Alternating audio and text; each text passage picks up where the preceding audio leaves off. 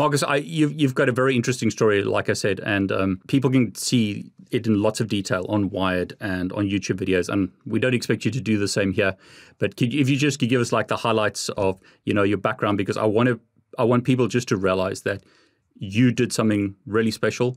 Um, you've got an interesting story, but what's really cool, I think, is that you're taking that knowledge and experience, and now you're helping others who, for instance, are trying to get into cybersecurity. So, if you could just give us the quick rundown, you know, of how how we got to where we are today. Okay, so I think the quick rundown is um, so I started out writing malware as like a teenager. I got out of that, got into cybersecurity ended up stopping WannaCry, which was this global ransomware virus that was launched by North Korea. Right after that happened, I kind of ended up getting thrust into the spotlight in somewhat uncomfortable way.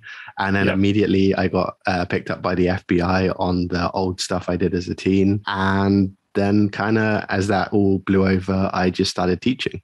Yeah, I love it. I mean, I, I, I think you've said, or I've seen it said, that you like were the most famous person in the UK for two days. yeah, that's pretty accurate. Yeah, I mean, I just say, I mean, I'm based in the UK, so just for everyone who's watching who don't know who the, what the NHS is, it's the National Health Service in the UK, and I mean, it was a it was a major problem, and you if i mean it's better if you tell the story but you registered a domain that basically was a kill switch for WannaCry is that right yeah so uh, yeah it beaconed out this domain it's not really sh- it's not clear why, but um, basically, if the domain is online, it will just cease all activity. Like it doesn't encrypt the files, it doesn't spread. And uh, I typically register these kind of domains as a uh, as a job.